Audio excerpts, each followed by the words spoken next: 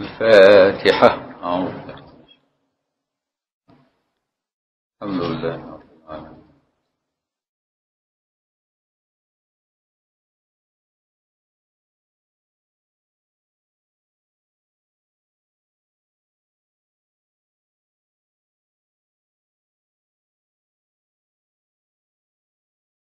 بسم الله الرحمن الرحيم. الحمد لله رب العالمين وأشهد أن لا إله إلا الله وأشهد أن سيدنا محمد رسول الله صلى الله عليه وسلم وشرف وكرم وبارك وعظم وعلى آله وصحابته والتابعين والتابعين بإحسان إلى يوم الدين. بكل لمحة ونفس عدد ما وسع علم الله. اللهم اغفر لنا وتب علينا وارحمنا وارحم والدينا ومشايخنا وعلماءنا والمسلمين. فرج الكرب عنا وعن المكروبين واشف مرضانا ومرضى المسلمين وارحم موتانا وموتى المسلمين. واختم لنا ولسائر المسلمين بخاتم السعادة أجمعين وانصرنا على أعدائنا أعداء الدين. واكفنا ما أهمنا من أمر الدنيا والآخرة يا رب العالمين إلى يوم الدين برحمتك يا أرحم الراحمين.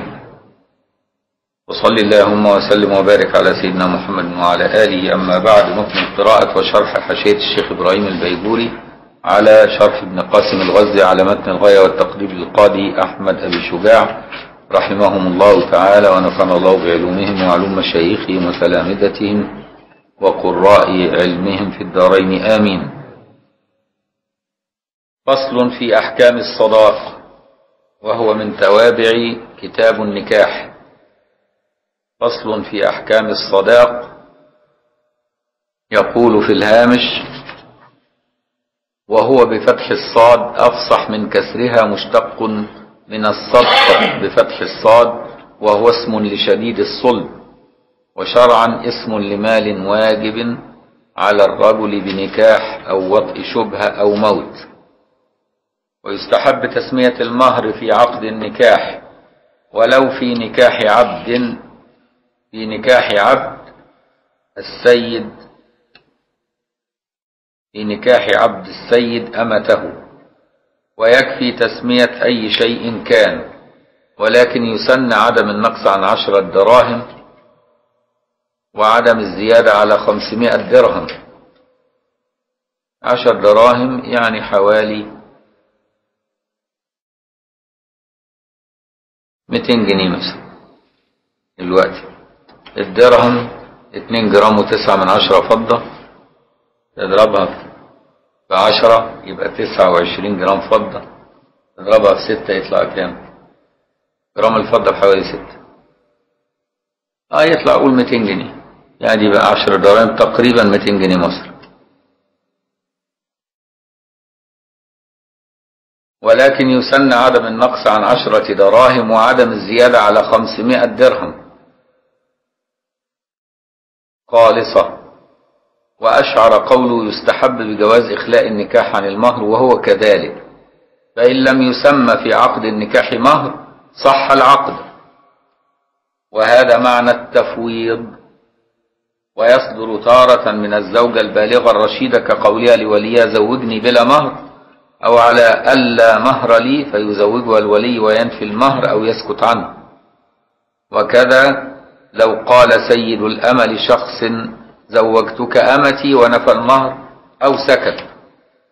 وإذا صح التفويض وجب المهر فيه بثلاثة أشياء وهي أن يفرضه الزوج على نفسه وترضى الزوج بما فرضه أو يفرضه الحاكم على الزوج ويكون المفروض عليه مهر المثل.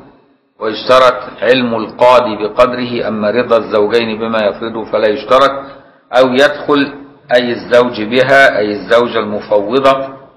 قبل فرض من الزوج أو الحاكم فيجب لها مهر المثل بنفس الدخول ويعتبر هذا المهر بحال العقد في الأصح. وإن مات أحد الزوجين قبل فرض قبل فرض ووطء وجب مهر مثل في الأظهر. والمراد بمهر المثل قدر ما يرغب به ما يرغب به في مثلها عادة. ونقف عند هذا الحد نشوف إيه شرح الشيخ البيجوري على ما فات. يقول فصل في أحكام الصداق كاستحباب تسميته في النكاح الآتي في قوله ويستحب تسمية المهر في النكاح وكما يسمى صداقا يسمى مهرا ونحلة وغير ذلك. وجعلها بعضهم أحد عشر اسما ونظمها في قول صداق ومهر ونحلة وفريضة حباء وأجر ثم عقر علائق وطول نكاح ثم خرص تمامها ففرد وعشر عد ذاك موافقي يعني دول 11 اسم لإيه؟ للمهر. وزيد على ذلك عطية يبقوا 12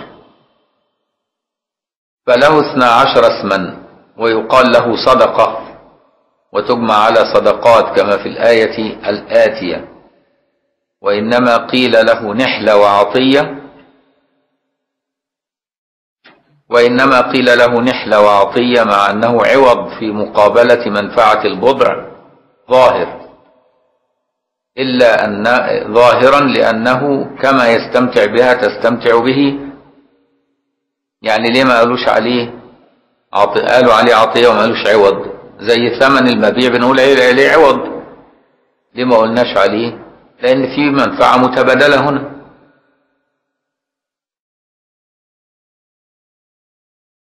لأنه كما يستمتع بها تستمتع به بل استمتاعها به أكثر لأن شهوتها أقوى من شهوته وقيل أنها تتلذذ بالجماع من ثلاثة أوجه. ترداد الذكر في فرجها وخروج منيها وسريان مني الرجل في رحمها.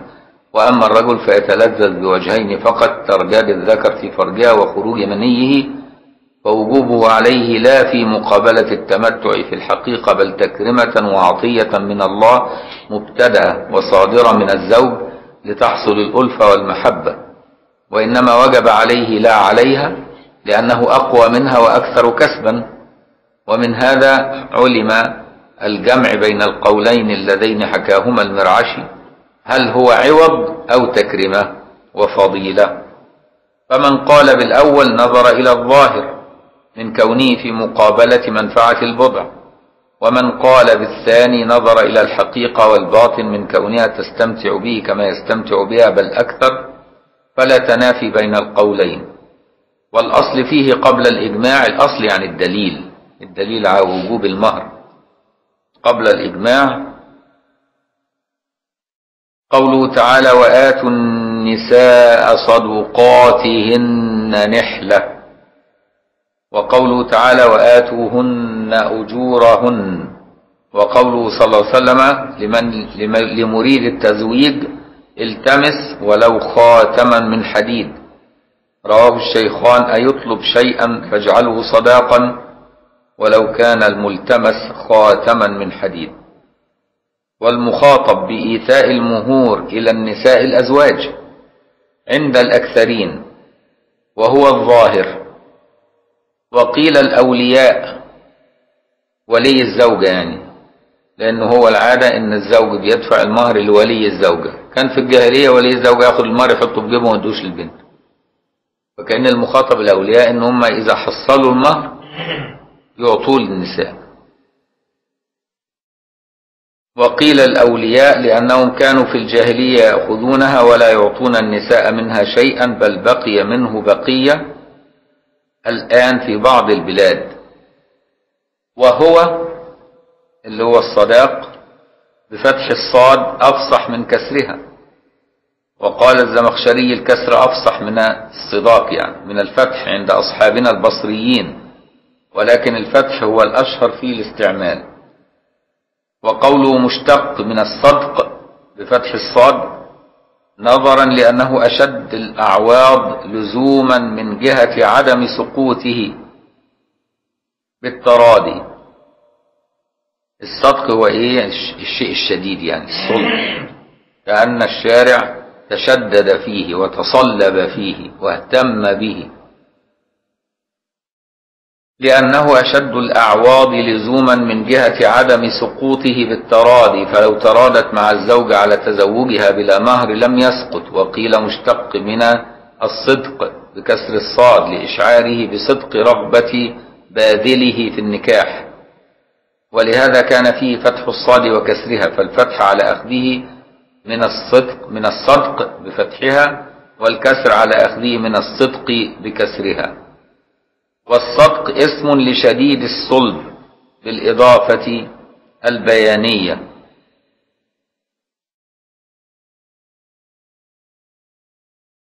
كما يؤخذ من المختار أي للشديد الصلب كما في بعض النسخ.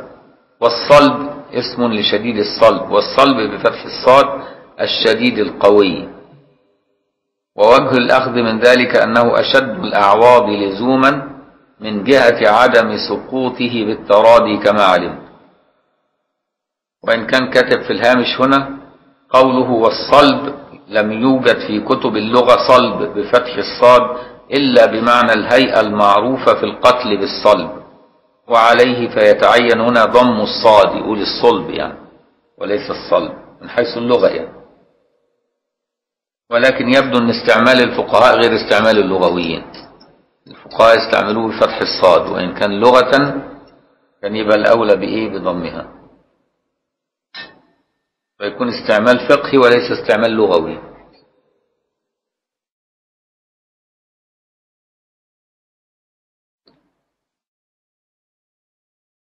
وشرعا هو عرفه شرعا ما عرفوش لغة. أما اللي يقول لك لغة كذا وشرعا كذا. هنا تعرف شرعا بس وعشان كده الشيخ البيجوري قال إيه وأما لغة فحاول يجيب الحاجة اللي ما قالهاش. وأما لغة فهو اسم لما وجب بالنكاح فقط. فيكون المعنى الشرعي أعم من المعنى اللغوي على عكس القاعدة. القاعدة تملي أن المعنى اللغوي أوسع من المعنى الشرعي. إلا هنا. على على عكس القاعدة من أن المعنى اللغوي أعم من المعنى الشرعي وهذا على أنه لا فرق بين الصداق والمهر. وأما على القول بأن الصداق ما وجب بالنكاح والمهر ما وجب بغيره كوطء الشبهة والإرضاع ورجوع الشهود فالمعنى الشرعي مساو للمعنى اللغوي. لأنه افرض أنه هو تزوج امرأة وبعدين وطئها جامعها ثم شهد الشهود أنها أخت من الرضاع كويس؟ يبقى وجب الفسخ. ولوطئها وجب في حقها مهر المثل. واضح؟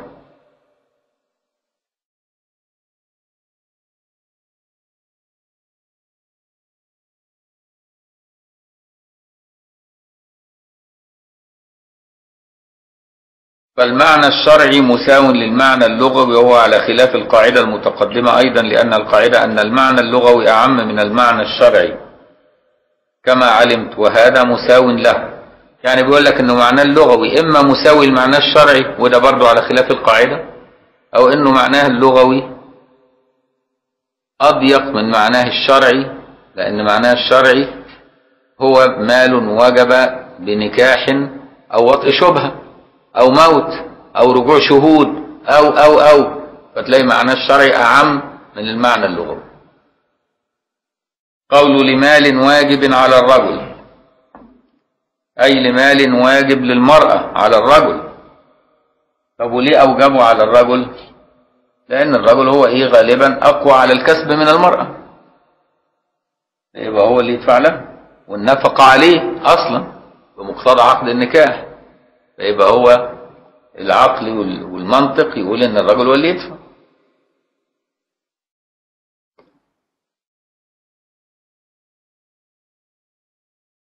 لأنه أقوى أي الرجل وأكثر كسبا كما مر. والتعبير بالمال جرى على الغالب مش شرط يبقى مال على فكرة. يعني حتى ولو منفعة ومن غير الغالب قد يكون منفعة كما سيأتي في قول ويجوز أن يتزوجها على منفعة معلومة. وفي بعض النسخ لما وجب على الرجل وهو أعم من المال. أما يقول إيه؟ اسم لما وجب ما قالش لمال واجب قال لما عشان يدخل فيه المنفعة والمال وكله. فما يقول لما وجب على الرجل أحلى من إنه يقول لمال وجب على الرجل لأن لا يشترط أن يكون مال. واضح؟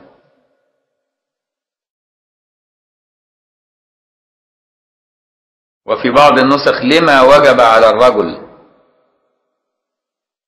وهو أعم من المال والمنفعة لكنها مصلحة. ووجوبه للمرأة على الرجل هو الأصل الغالب. وقد يجب للرجل على المرأة. آه يعني ممكن الرجل هو اللي يجب في حق المرأة أنها تديله المهر في صور نادرة. إمتى المرأة تدي للرجل المهر؟ صور نادرة يدي لك منها صور. كويس؟ وقد يجب للرجل على المرأة يعني يصير واجبا على المرأة أن تعطيه للرجل المهر. كما في مسألة الإرضاع كأن ترضع إحدى زوجتيه وهي الكبرى الأخرى وهي الصغرى. يعني واحد متجوز اتنين واحدة كبيرة وواحدة طفلة رضيعة.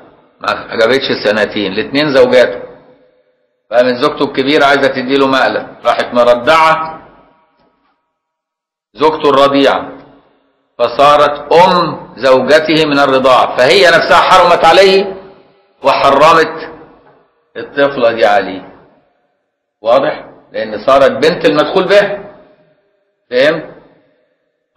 فرضعت البنت الصغيرة حرم الاثنين عليه هي والرضيعة. يبقى عليها في الحالة دي تدفع له مهر المثل للرضيعة لأن هي اللي ضيعت عليه الجوازة دي الزواج. فهمت؟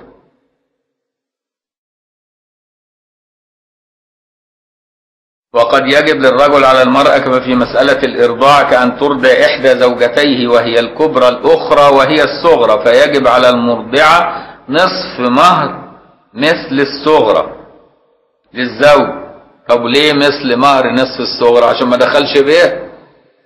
هي زوجته لكن لم يدخل بها لصغر سنها. واخد بالك؟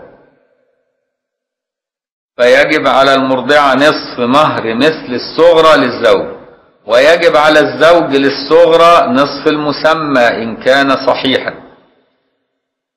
وإلا فنصف مهر المثل. وإنما وجب على المرضعة للزوج نصف المهر ولم يجب المهر كله مع أنها فوتت عليه البضع اعتبارا لما يجب له بما يجب عليه ولا يجب عليها مهر نفسها لتفويتها بضعها على الزوج أيضا فإن الإرضاع حرم كلا كلا من الزوجتين عليه.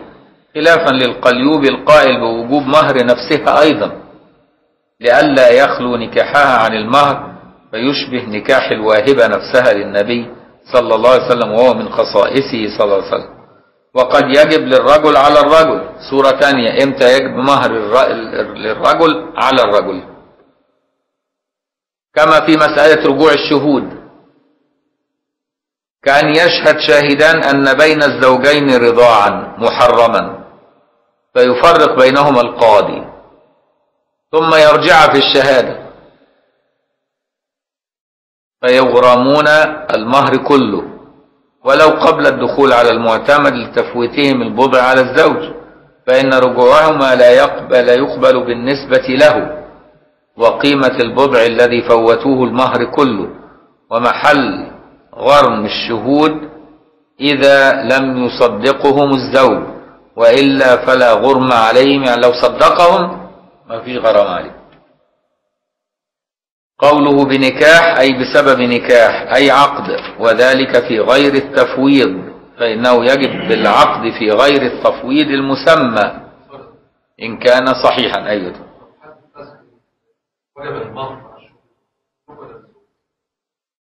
لا يعوضوا الزوج لأن الزوج هيدفعوا للزوج هم يعوضوا.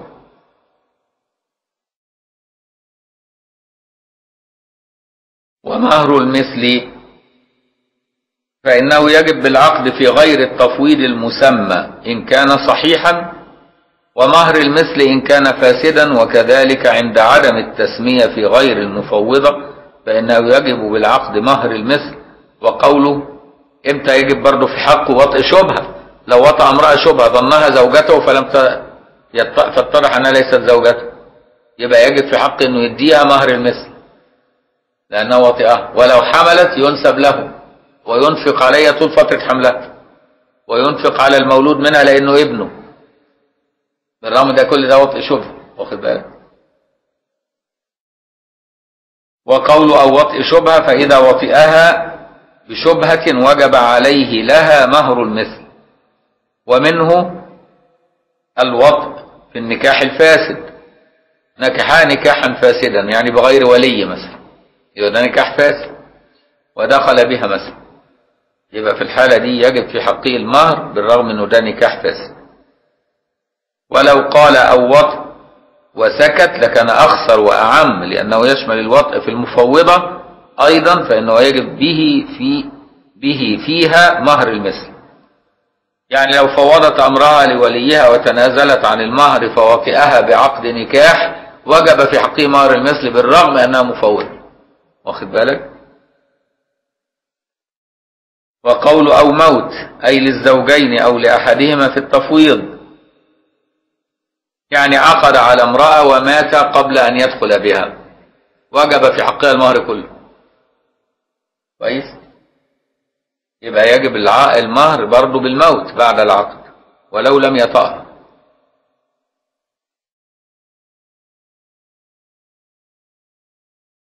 أو موت أي للزوجين. أو لأحدهما في التفويض فإن الموت كالوطء في تقرير المسمى يعني حكمه في تقرير المسمى كالوطء سواء بسواء. في غير التفويض فكذا في إيجاب مهر المثل في الت- والتفويض يعمل إيه؟ لو عقد عليها ومات دون أن يسمي مهرا وهي كانت متنازلة مفوضة يجب في حقها مهر المثل مش المسمى في التفويض. ولا يجب في التفويض بالعقد شيء. يعني لو عقد على امرأة ولم يدخل بها وفوضت الأمر وتنازلت من المهر لا يجب في حقه شيء. لو وطئها وجب مهر المثل. ولو مات عنها وجب مهر المثل. واضح؟ دي في مسألة التفويض.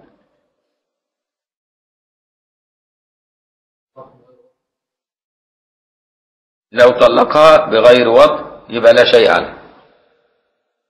الحمد لله. ديكم الله يسلم دي في المفوضة يعني. يهديكم الله يسلم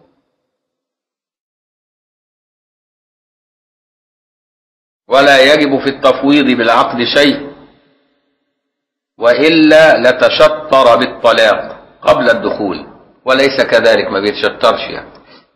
فلا يجب فيه شيء إلا بما ينضم إلى العقد من الفرض أو الوطء أو الموت. الفرض إن هو يسمي. والوطء إن هو يدخل بها أو الموت إن يموت عنها. وأما في غير التفويض فيجب المهر بالعقد ويتقرر جميعه بالوطء أو الموت. أو يقول كمان أو الطلاق. لأنه لو ما دفعش حاجة وجا طلق وجب في حقه إنه يسدد كل المهر. كده برضه؟ ها؟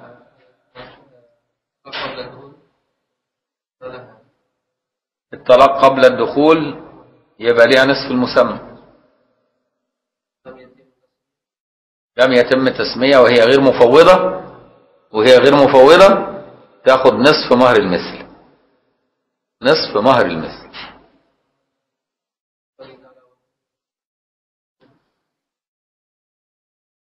آه ما يجراش حاجة. ما هي المت- ال- المتعة دي بيحسبوها بالطريقة دي بمهر المثل بنصف مهر المثل. دي طريقة بالك؟ وأما في غير التفويض فيجب المهر بالعقد ويتكرر جميعه بالوقت بالوطء أو الموت. وبذلك يندفع اعتراض الرحمن بأن ذكر الموت بأن ذكر الموت يقتضي أنه موجب للمهر وليس كذلك بل هو مقرر لجميعه. وتقريره غير إيجابه. ووجه اندفاعه أن اعتراضه مبني على أن ذلك في غير التفويض وليس كذلك بل هو في التفويض كما علمت هذا ولو زاد الشارح أو تفويت بضع قهرا كمسألة الإرضاع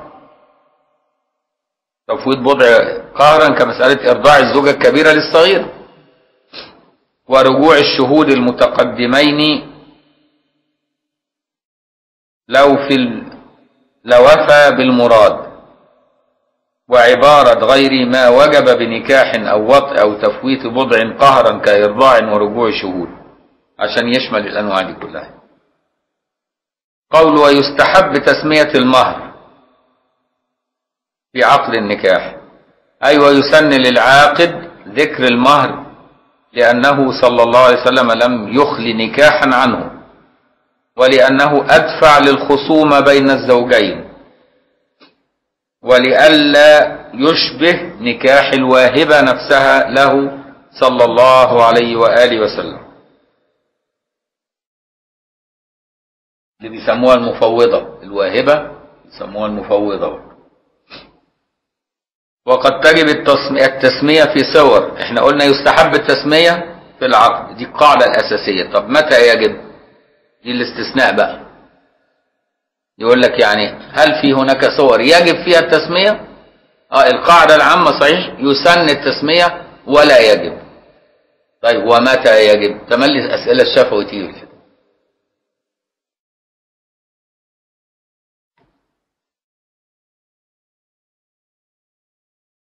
وقد تجب التسمية في صور. الأولى إذا كانت الزوجة غير جائزة التصرف لصغر أو جنون أو سفه أو مملوكة لغير جائز التصرف كصبي ومجنون وسفيه وقد حصل الاتفاق مع الزوجة على أكثر من مهر المثل. فلو سكت عن التسمية لوجب مهر المثل فتفوت الزيادة مع أنها مصلحة للزوجة المذكورة أو لسيدها. يبقى لو كانت الزوجة سفيهة أو مجنونة أو كده وسكت عن التسمية يجب مهر المثل. فلو كان المسمى أكثر من مهر المثل يبقى فوت عليها المصلحة. فيبقى في الحالة دي يجب التسمية حتى لا يفوت عليها المصلحة. واضح؟ دي أول صورة الثانية إذا كانت الزوجة جائزة التصرف وأذنت لوليها أن يزوجها من غير تفويض وقد حصل الاتفاق على أكثر من مهر المثل. فلو سكت لوجب مهر المثل فتفوت المصلحة مع أن تصرف الولي يكون بالمصلحة. يعني أذنت لوليها أن يزوجها ولم تفوضه بالتنازل عن المهر. وكان المسمى أكثر من مهر المثل فلو لم يسميه ضاع عليها الفرق. يبقى في الحالة دي وجب التسمية. الثالثة إذا كان الزوج غير جائز التصرف. وحصل الاتفاق في هذه الصورة على أقل من مهر المثل فتجب تسمية ما وقع الاتفاق عليه. فلو سكت عن التسمية لوجب مهر المثل فتحصل زيادة على الزوج. فالمصلحة في هذه الصورة عائدة على الزوج وفيما قبلها على الزوجة أو سيدها. وقد تحرم التسمية. متى تحرم التسمية؟ يبقى قلنا تسن دي القاعدة العادية. ليها صور تجب وليها صور تحرم. إيه الصورة متى يحرم التسمية؟ وقد تحرم التسمية كما لو تزوج المحجور عليه بمن لم ترضى إلا بأكثر من مهر مثلها. وإنما لم يكن الصداق آه إلا دي صورة واحدة. متى تحرم؟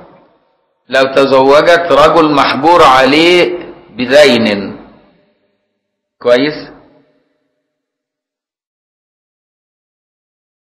كما لو تزوج المحجور عليه بمن لم ترضى إلا بأكثر من مهر مثلها.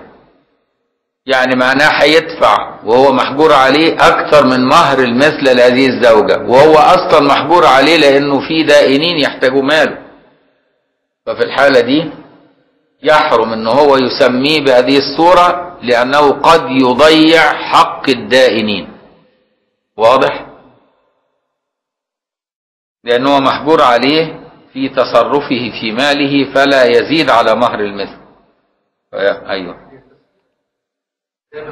لا ان هو محددين آه مهر كام كذا مقدم وكذا مؤخر. أرقام حافظينها. لا لا. اللي هو التحديد يعني.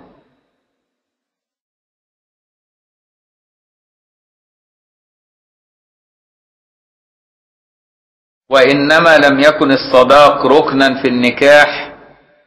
أظن الملكية عندهم الصداق ركن في النكاح من أركان النكاح لكن الشافعي عندهم لا.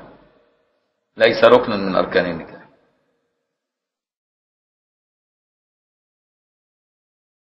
لكن هو من لوازم العقد وليس من أركان العقد. كويس؟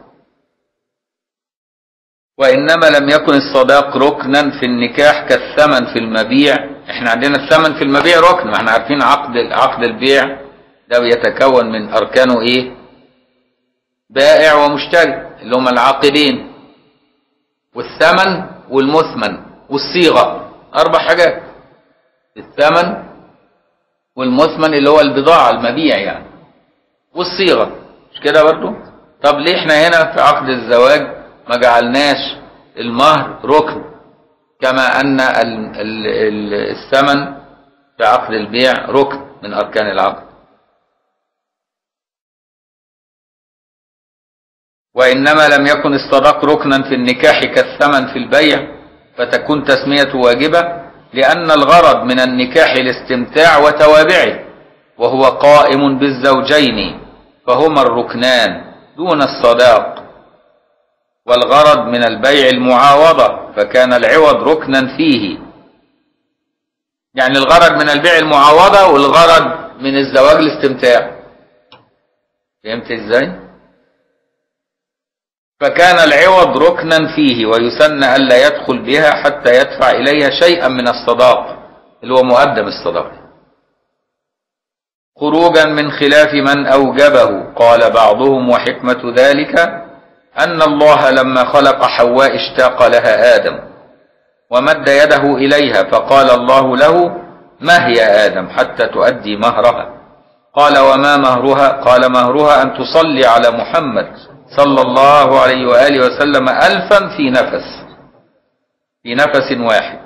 فصلى خمسمائة مرة وتنفس فقال يا آدم الذي صليته هو مقدم الصداق والذي بقي عليك هو مؤخره. روايات ضعيفة لكن الفقهاء يحبوا يجيبوها. بس دي كلها روايات ضعيفة.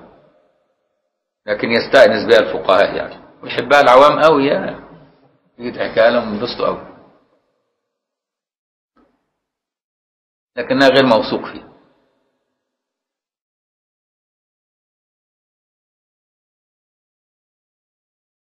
وفي رواية أن الله تعالى لما خلق حواء قال له يا. قال له آدم يا رب زوجني من حواء. فقال له يا آدم حتى تعطي حتى تعطيني مهرها حتى تعطيني مهرها. قال وما مهرها يا رب؟ قال مهرها أن تصلي على محمد حبيبي مئة مرة في نفس فصلى آدم سبعين مرة ثم انقطع نفسه. فقال له الرب لا بأس عليك الذي صليته مقدم المهر والذي بقي عليك مؤخره. فلذلك تجد بعض الناس يقدمون النصف ويؤخرون النصف عن الرواية الأولى. وبعضهم يقدم نحو الثلثين ويؤخر نحو الثلث في رواية السبعين مرة من المية يعني. وهو الأغلب المتعارف بيننا الآن في هذه الأزمان أيام الشيخ البيجوري. الوقت ما بيدفعوش وبياكلوا حقوق الزوجات. أيام الشيخ يسر. إنما أيام الشيخ البيجوري كانوا بيدفعوا التلتين. دلوقتي بقوا إيه؟ نصابين. إلا ما رحم رب. لابد أن تستثني. إلا ما رحم ربي لأن التعميم علامة الجهل. قول في عقد النكاح في زيادة. زيادة الشارح. لفظ عقد. أصل في عقد النكاح. النكاح عقد. وبعدين قايل النكاح أصلا هو عقد كأنه بيقول في عقد العقد كأنها زيادة يعني. لفظ عقد ركاكة لأن النكاح بمعنى العقد كما هو حقيقته فكأنه قال في عقد العقد. فيحوج إلى أن تجعل الإضافة بيانية وعبارة الشيخ الخطيب سالمة من ذلك حيث قال في صلب النكاح أي العقد فهي أولى من عبارة الشارح. قول ولو في نكاح عبد عبد السيد أمته غاية للرد على من قال إنه لا يستحب التسمية. يعني واحد سيد عنده عبد وعنده أمة الاثنين هو هيملكه يعني وهو اللي هيدفع المهر.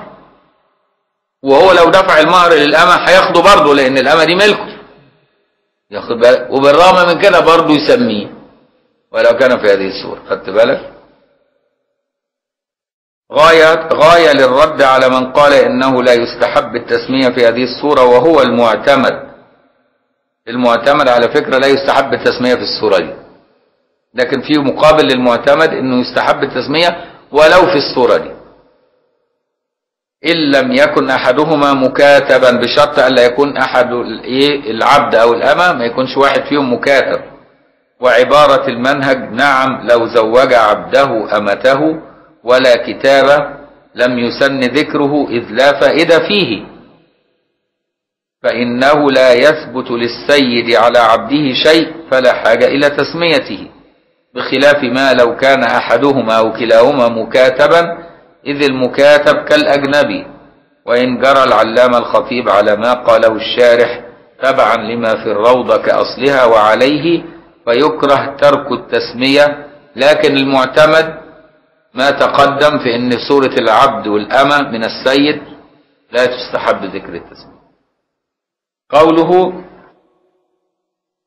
ويكفي تسمية أي شيء كان. ويكفي تسمية أي شيء كان أي عينا كان أو دينا أو منفعة.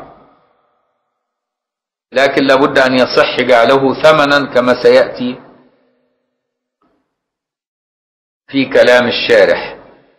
فلو عقد بما لا يتمول كنوات وحصاة وترك شفعة وحد قذف فسد عقد الصداق لأنها لا تتمول لا تستطيع أن تحولها إلى مال له قيمة.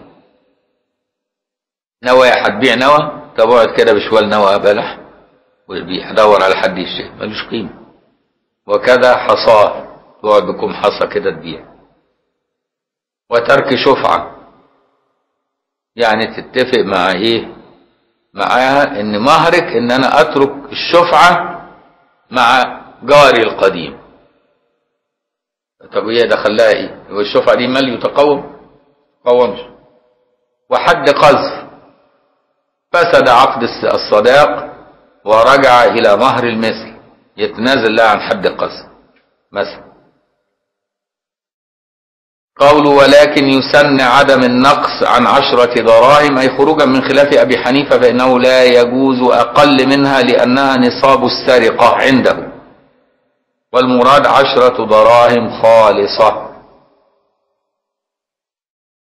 ويمكن إرجاع خالصة في كلام الشارح إليها أيضا. يبقى حد نصاب السرقة عند أبو حنيفة عشر دراهم. وكذلك هو أدنى مهر عند الإمام أبو حنيفة. لكن نصاب السرقة عندنا إيه؟ ربع دينار. الدينار حوالي 1500 جنيه يبقى ربعه كام؟ ربعه حوالي 380 مثلا 370 جنيه. لكن العشر دراهم حوالي 200 جنيه يعني نصاب السرقة عند الأحناف أقل من نصاب السرقة عند الشافعي. يعني الأحناف يقطعوا إيدين الناس أكتر عددا. من الشافعي الشافعي ما يقطعوش إيدين اللي يسرق حدود ربع دينار. كويس؟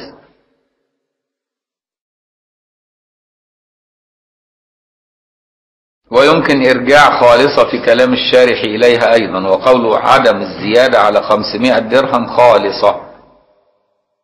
لأنها أصدقت نسائه صلى الله عليه وسلم وبناته.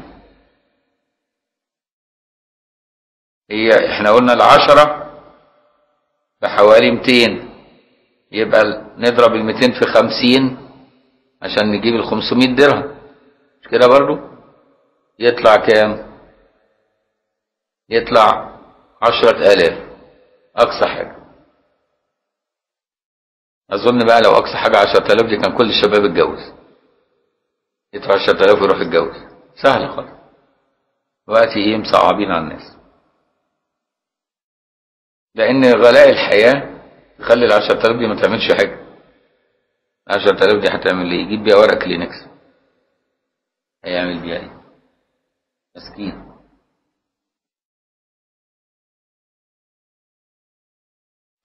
كانت زمان ال 500 درهم دي إيه؟ حاجة جميلة. عارف 500 درهم دي كانت تجيب قد إيه؟ تجيب بيها إيه؟ تجيب بيها خمس جمال. الجمل كانت ب 100 درهم. خمس جمال الجمل وقت ثمنه 15000 جنيه على الأقل. يعني 500 درهم ب 75000 جنيه. لما تحولها لجمال. قيمتها بالجم... بالجمل يعني. عرفت بقى ليه لما الناس بيعيطوا يقول يا جملي؟ فهمت بقى السبب؟ علشان ماله ضاع.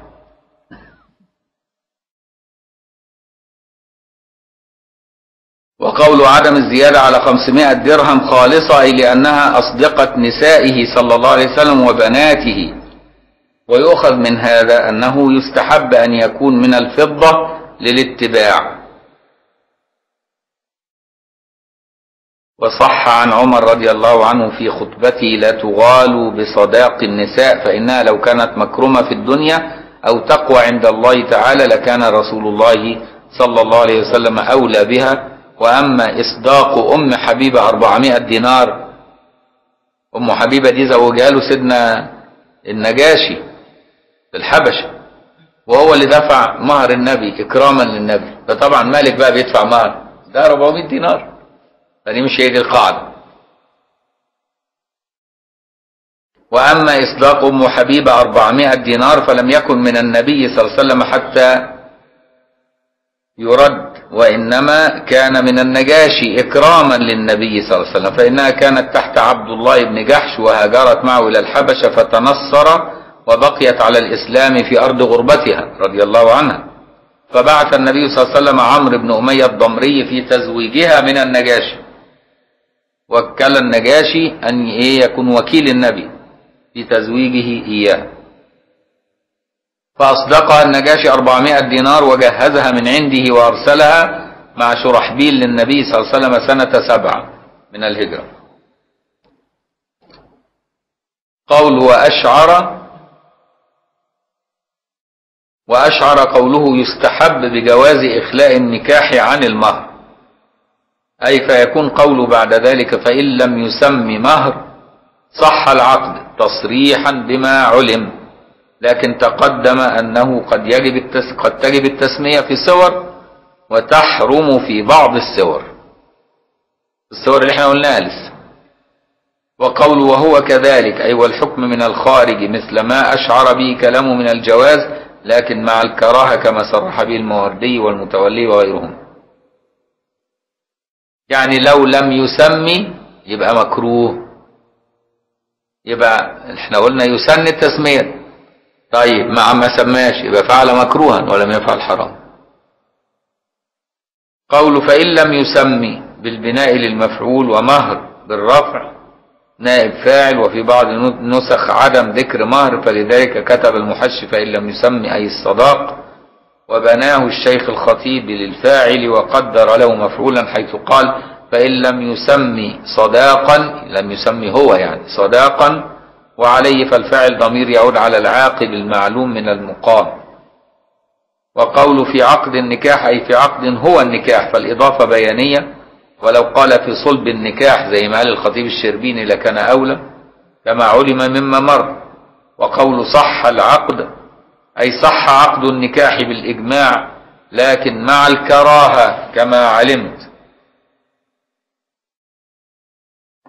قول وهذا أي عدم تسمية الصداق في العقد معنى التفويض إنما قصره على ذلك مع أن عدم تسمية الصداق تارة يكون مع عدم التفويض فإذا لم تكن مفوضة ولم يسمي الصداق في العقد وجب مهر المثل بنفس العقد وتارة يكون مع التفويض وحينئذ يجب المهر بواحد من ثلاثة أشياء أخذا من كلام المصنف فيما بعد حيث قال ووجب المهر بثلاثة أشياء فإن ذلك خاص بالتفويض لما علمت من أنه في غير التفويض يجب مهر المثل بنفس العقد.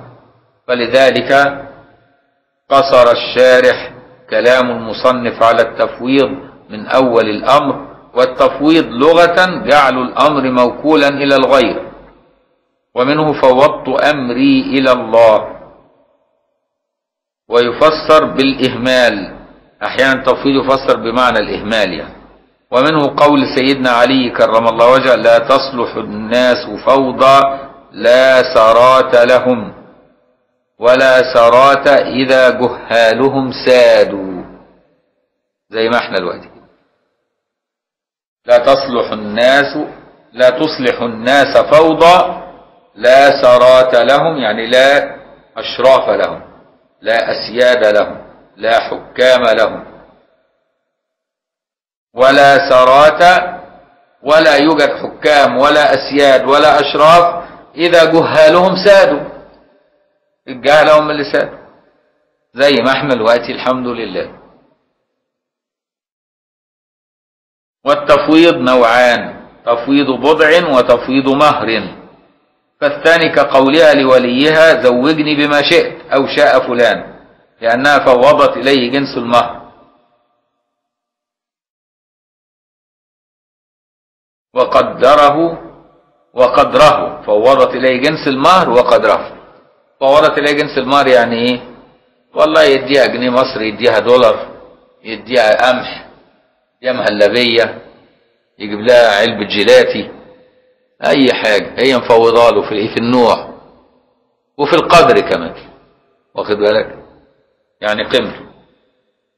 وكلامهم في النوع الأول وهو تفويض البضع لأن وليها فوض أمر البضع البضع البضعة لأن وليها فوض أمر البضع إلى الزوج. ليتولى بعد ذلك فرض المهر في مقابلته أو يفرضه القاضي نيابة عنه. أو يتلفه بالوطء ويقوم مقامه الموت كما سيأتي. ويصدر طارة من الزوجة.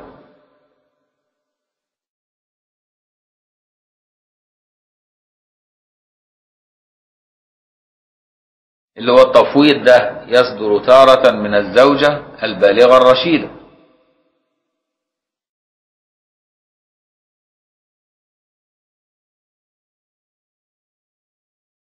قوله وكذا لو قال سيد الأمل شخص إلى آخره. يبقى ويصدر تارة من الزوجة البالغة الرشيدة كقولها لولي زوجني بلا مهر أو على ألا مهر لي فيزوج الولي وينفي المهر أو يسكت عنه. وكذا لو قال سيد الأمل شخص زوجتك أمتي. وكذا لو قال سيد الأمل شخص إلى آخره فكأنه قال وتارة يصدر من السيد. ولو عبر بذلك لكان أظهر وأولى. قوله البالغة ويصدر تارة من الزوجة البالغة. خرجت الصغيرة فلا يصح التفويض منها لأنها ما تعرفش مصلحتها. وقوله الرشيدة يبقى خرج المجنون والسفيه. أي ولو حكما فيشمل السفيه المهملة. إحنا قلنا أيام الحجر إن في سفيه مهمل وسفيه غير مهمل. السفيه السفيه المهمل اللي هو معلوش حكم قضائي. سفيه بس ما فيش حكم قضائي عليه بالحجر سموه السفيه المهمل. كويس؟ قوله كقولها لوليها زوجني بلا مهر أو على ألا مهر لي. بخلاف ما لو قالت زوجني وسكتت عن المهر بالكلية فلا يكون تفويضا بل إذنا مطلقا في التزويج لأن النكاح يعقد, يعقد غالبا بالمهر فيحمل المطلق عليه فكأنها قالت زوجني بمهر وقول فيزوجها الولي وينفي المهر أو يسكت عنه من تمام التفويض فلا يوجد التفويض بمجرد قولها المذكور بل لا يقال تفويض إلا إذا زوجها الولي ونفى المهر أو سكت أو زوج بدون مهر المثل أو بغير نقد البلد لأن التسمية الفاسدة كلا تسمية فهي بمنزلة السكوت فتكون من صفر من صور التفويض. وحمل اقتضاء التسمية الفاسدة وجوب مهر المثل بالعقد في غير التفويض. وأما لو زوج بمهر المثل من نقد البلد انعقد به ولا تفويض. قوله وكذا لو قال سيد الأمل شخص أي فإنه تفويض لكن لا شيء للسيد بعد ذلك على الزوج ولو دخل بها. لأن الشخص له لأن الحق له وقد أسقطه. يعني سيد الأمة قال للراجل زوجتك أمتي بغير مهر. كويس؟ فقال لك برضه يبقى يسقط لأن هو أصل المهر كان هيقول إليه ونفى المهر أو سكت بخلاف إذا ما إذا زوج بدون مهر المثل أو بغيره بغير نقد البلد فلا يكون تفويضه فلا يكون تفويضا منه بل يجب دون مهر المثل وغير نقد البلد إذا عقد السيد بهما. ويكون كل منهما مسمى صحيحا لأن المهر حق السيد وقد رضي بذلك بخلاف ما تقدم في الولي. قوله وإذا صح التفويض نقف عند هذا الحد إن شاء الله ونكمل يوم الاثنين القادم. سبحانك اللهم وبحمدك نشهد أن لا إله إلا أنت نستغفرك ونتوب إليك. وصل اللهم وسلم وبارك على سيدنا محمد وعلى آله. وجزاكم الله خيرا.